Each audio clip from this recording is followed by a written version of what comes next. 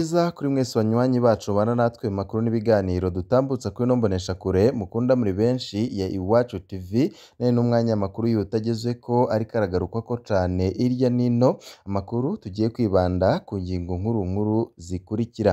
Muri ano makuru turaza kubabwira ku bijanye n'umucanwa wadutse mu gisagara ca Bujumbura ku kabari kazwi nka Win Club muri ano makuru turaza kubabwira vyinshi aho hari vyinshi vyatokombereye muri uwo mucanwa wadutse hakaba hari n'uwahejeje gucikana. Muri ano makuru turaza kubabwira ku bijanye n'ayo makuru ndetse tuze no kubabwira icoba cateye uwo muriro. Muri ano makuru kandi turaza no kubabwira ibijanye n'ibikorwa bigayitse biriko birategurwa n'umugambwe uri ku butegetsi CNDD FDD harimwo no kwica. Bamwe mu barongoye iyindi migambwe itavuga rumwe n'ubutegetsi bwa CNDD FDD muri ano makuru turaza kubaha. Ido n'ido ku bijanye n'ibiriko birabera Rutana aho indongozi z'imigambwe itavuga rumwe n'ubutegetsi zivuga ko zifise ubwoba bukomeye cane bivanye n'iterabwoba ndetse n'amanama agenda arakorwa n'umugambwe CNDD FDD ayo manama akaba agamije kuraba abo bozakuramo mbere yuko ngo amatora yimirije aba nk'uko nyine amasoko yacu n'ubundi abandanya abivuga. Muri ano makuru turaza kubabwira ku bwoba bwinshi buri mu ndongozi zirongora iyindi migambwe itavuga rumwe n'uri ku butegetsi ngaha mu gihugu c'u Burundi. Ibi n'ibindi tutakubwiye mfunyapfunyo turagenda tubiguha mu buryo bw'idonido reka aya makuru yacu tuyatangure kuri iyi nkuru nyine nari mpejeje kubikubwira. Ku biriko biravugwa muri politike kutihanganiranira mu birabana na politike bivugwa yuko arivyo bigiye gusambura igihugu c'u Burundi Rutana indongozi z'imigambwe itavuga rumwe n'uri ku butegetsi zivuga ko zifise ubwoba ku mutekano wazo inyuma y'amanama y'umugambwe uri ku butegetsi. Ku magenekerezo ya cumi na rimwe n'iya cumi na kabiri no ku rya makumyabiri Nyakanga umugambwe CNDD FDD waragirishije inama mu ntara nshasha ya Burunga bumanuko bw'u Burundi muri iyo nama kubw'indongozi z'imigambwe itavuga rumwe n'uri ku butegetsi Prona na CNL uwo mugambwe uri ku butegetsi warateye ubwoba ko ushobora kwica bamwe mu banywanyi b'uwo mugambwe n'indongozi z'iyo migambwe muri komine Giharo mu ntara ya Rutana. Ubumanuko bushira ubuseruko bw'u Burundi zaravuzwe cane. Izina rya Juma Theoneste ryaravuzwe mu nama ya mbere. Uwo mugabo yaheruka kuva muri CNDD FDD yinjira muri Iprona. Si wenyine kuko n'abandi banywanyi b'imigambwe itavuga rumwe n'uri ku butegetsi baravuzwe. Aho nk'uwitwa Silvani Nzikoruriho na Renova Hakizimana barongoye CNDD FDD mu makomine mashasha ya Musongati mu ndinganizo nshasha ntibariye umunwa mu kuvuga ibijanye n'ayo makuru. Basavye abanywanyi babo kubica canke bakabapfunga imbere y'amatora yimirije niko bitomorwa n'umwe mu banywanyi b'umugambwe Iprona yemeza ko vyavuzwe n'abari muri iyo nama y'umugambwe uri ku butegetsi. Kubw'iryo soko nyine amazina y'abitavye iyo nama arazwi ni Ronari Ruhoranyi arongoye umugambwe CNDD FDD ku mutumba Kibimba Zakari Barutwanayo mukuru w'umutumba Kibimba Siriyake Komezurugendo arongoye CNDD FDD muri zone Butezi akaba n'umunywanyi w'uwo mugambwe ku mutumba Kibimba na Leonidas Bahati. Tukaba twababwira ko iyo nama yo kuwa mirongo ibiri Nyakanga ku mugwa mukuru wa zone Giharo yari igenewe abigisha no muri zone Muze muri komine Giharo kubw'abari muri iyo nama. Umunyamabanga wa CNDD FDD muri komine Musongati Renova Hakizimana yaragabishije abigisha bari mu migambwe itavuga rumwe n'uwuri ku butegetsi imuze. Umwigisha azokwihenda akigisha inyigisho zitari CNDD FDD azofungwa naticwa niko yateye ubwoba. Yarongeyeko ati umwigisha azokora nabi azoba agomba ko yimurirwa mu kibanza tuzokwiga neza kandi ntazokwidoge ko vyose bizaba vyatewe nawe nk'uko nyene yabandanije abagabisha.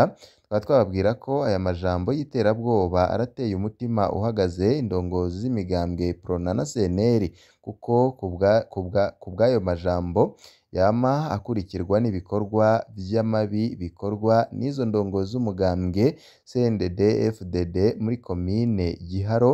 Tukaba twababwira ko basaba abajejwe intwaro n'igipolisi gukurikiranira hafi umutekano w'abanywanyi babo. Mu mwaka uheze tukaba twabibutsa yuko abanywanyi batari munsi ya batandatu bari mu migambwe itavuga rumwe n'uwuri ku butegetsi baragandaguwe co kimwe na komiseri w'igipolisi muri iyo komine Japhet Mukeshimana yari yatanguye amatohoza kuri ubwo bwicanyi bwakorwaga. Uwo akaba yicishijwe igipanga mw'ijoro ryo kuwa kabiri Nzero umwaka w'ibihumbi bibiri na kane. Ikindi twababwira nuko izo ndongozi zibiri za CNDD FDD Silivani Nzikoruriho na Renova Hakizimana baravuzwe ko bari inyuma y'ubwo bwicanyi bwakorewe abo banywanyi babaga mu yindi migambwe itari CNDD FDD ariko ntibigeze bakurikiranwa. Mu bantu bake bahagaritswe kubera ubwo bwicanyi nyuma yo kwikekwa harimwo umukuru w'imbonerakure abanywanyi b'umuhari w'urwaruka rw'umugambwe uri ku butegetsi CNDD FDD muri komine Musongati akaba ari n'umuyobozi w'indero muri iyo komine ariko amasoko ava muri uwo mugambwe CNDD FDD avuga ko ivyo vyakozwe mu ntumbero yo gukingira abakoze ubwo bwicanyi. Reka tuve kuri iyo nkuru. Tugaruke kuri ya makuru twari twababwiye ku bijanye n'umuriro wadutse mu gisagara ca Bujumbura ukaba warigise akabari kazwi kw'izina rya Wini Club. Umuntu umwe akaba yahejeje gucikana bivanye n'uwo muriro. Kuko nari mpejeje kubikubwira umuntu umwe yapfuye abandi bagwa igihumura ubunywero Wini Club burasha buratokombera muri wa muriro waduka inyuma y'ahakorera ikinyamakuru Magazine Jimbere. Ni umuriro mwinshi wadutse mu bunywero Wini Club hafatanye n'ahakorera ikinyamakuru Jimbere kw'ibarabara ryitiriwe Prona mu gisagara ca Bujumbura ku mutaga kuri uyu wa mirongo ibiri na karindwi Nyakanga umwaka w'ibihumbi na mirongo ibiri na kane. Wononye vyinshi bitaramenyekana igitigiri wononye vyinshi bitaramenyekana igitigiri ariko umuntu umwe we yahatakarije ubuzima. Nk'uko amakuru dukura amasoko yacu abivuga umwe mu bakorera aho vyabereye n'ubwoba bwinshi buboneka mu maso mbere n'amarira bicamwo akanamukorokana mw'ijwi ririmwo ikiniga yagize ati hari saa sita zirenga hari abantu bariko barasudira amasase araturika mu matera ziri hafi y'aho zica zirafatwa ziraka. Niko kwiyumvira kuzana indobo zuzuye amazi yo gusuka gusukako ngo bazimye ariko umuriro n'umwotsi bibandanya kwiyongera. Abantu batatu baciye baja kurokora amarore kuko hari hari hariho ikibanza kidandarizwamwo amarore. Basohokanye ibishoboka basohokanye ibishoboka bageze hanze umwe aca avugana n'umukoresha wiwe ko hahiye aca amubwira ahari amahera asubirayo kuya kuya kuyayora umwotsi n'umuriro bica biramutwikira ubuzima bwiwe buba buhereye ngaho. Igipolisi kijejwe gutabara cahashitse nk'inyuma y'iminota mirongo ibiri uwo muriro wadutse kikaba cashoboye kuzimya kugira izindi nyubakwa zihegereye na zo ntizifatwe. Anicet Nibaruta umukuru w'ikigo cy'igihugu kijejwe gukingira ibiza n'isibe no kugarukira kuri abo bahuye navyo yagize ati ivyahononekaye vyose ntibiramenyekana ariko amakuru amaze kumenyekana nuko hariho umwe yitavye Imana uwundi arababuka akaba yaciye anyarukanwa kwa muganga ico uyo muriro wavuyeko ntikiramenyekana neza.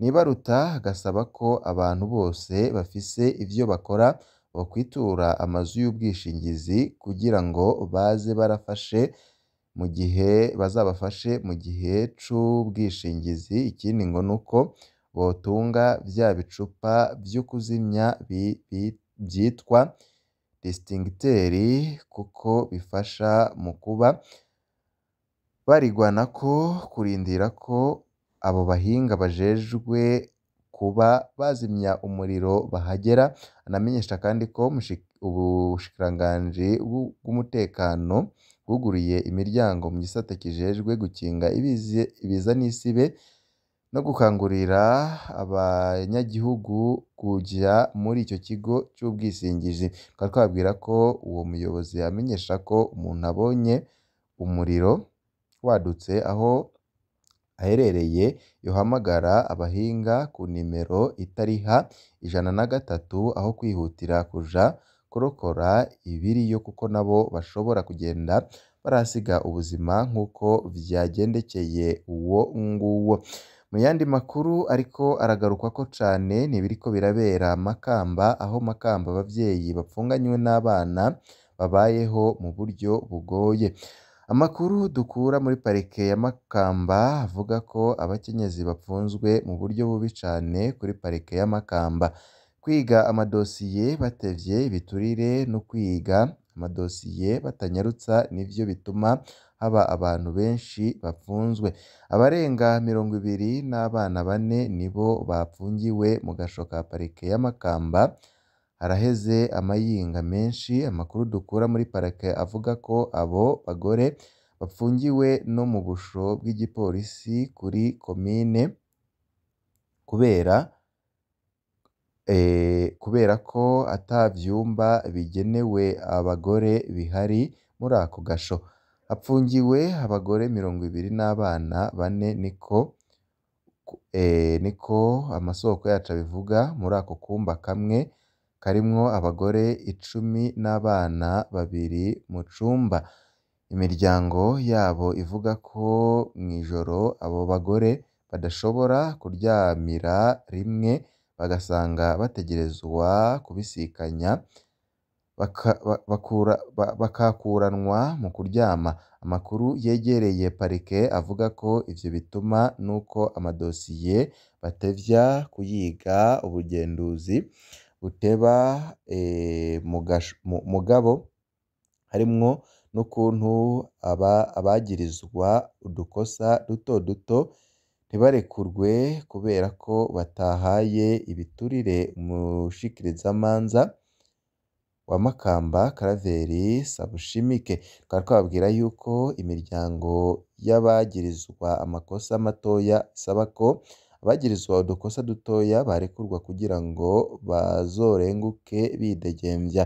Abagore bane muri abo bapfungiwe kuvyara bakaniga abana babo nabo udukosa dutoya n'abandi bafite udukosa dutoya bikavugwa n'abegereye abo mu gipolisi c'i Nyamiramabi twamenyesha ko abantu babiri bamaze kugwa muri ako gasho muri uyu mwaka w'ibihumbi na mirongo ibiri na kane umushikirizamanza wa Makamba ntiyari hagufi ngo agire ico avuze kuri ivyo ariko aragirizwa. Banywanyi bacu kandi ngaha duciye dusoza yaragezeko yariko aragarukwako cane hirya n'ino ariko nanone hari andi makuru akomeye cane turiko turabatunganiriza turibuze kubashikiriza mu kandi kanya kari buze ntimuze kuja kure ibihe vyiza kuri mwese nivyo ndabifurije